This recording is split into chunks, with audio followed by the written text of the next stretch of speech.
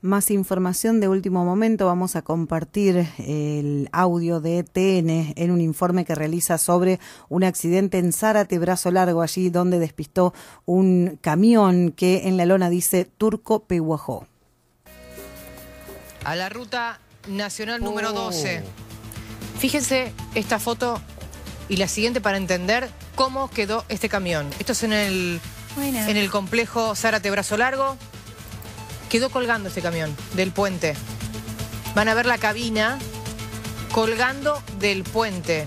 Urquiza del complejo Zárate Brazo Largo. El tránsito se encuentra absolutamente cerrado, sentido hacia el norte, debido a este siniestro provocado por este camión que está colgando literalmente en el puente Urquiza del complejo Zárate Brazo Largo. Mucha atención, esto es en el kilómetro 111 de la ruta nacional número 12. Tremendo este incidente vial protagonizado por este camión. Fíjense que la cabina está colgando del puente. Es un camión con dos acoplados. Uno está sobre la calzada, el otro ya está sobre las barandas y la cabina colgando.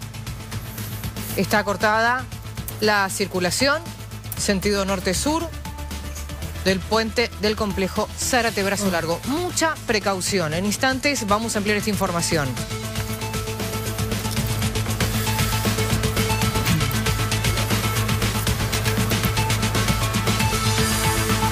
Bueno, nos vamos a la zona sur, nos vamos al barrio de Quil.